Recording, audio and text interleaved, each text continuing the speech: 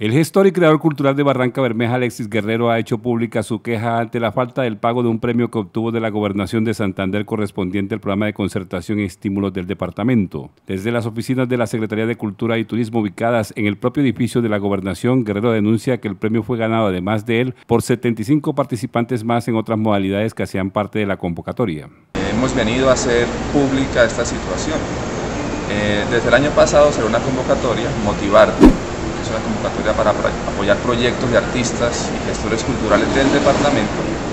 Eh, y a la fecha de hoy, febrero, los ganadores, entre esos me incluyo, no hemos tenido respuesta de cuándo va a ser el desembolso de los recursos. Y eso tiene muchas afectaciones porque nosotros trabajamos con eso.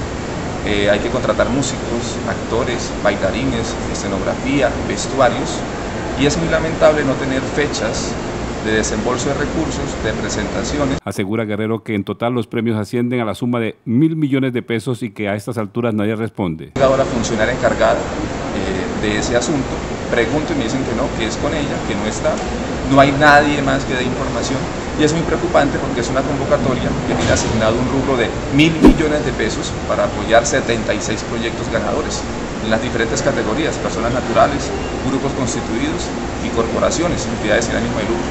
Entonces, eh, es muy lamentable también que la única manera de que a los artistas nos presten atención es haciendo este tipo de denuncias, porque con el diálogo y las vías eh, diplomáticas pues no funcionan. Nos hemos acostumbrado en Santander a que todo tiene que ser de esta manera.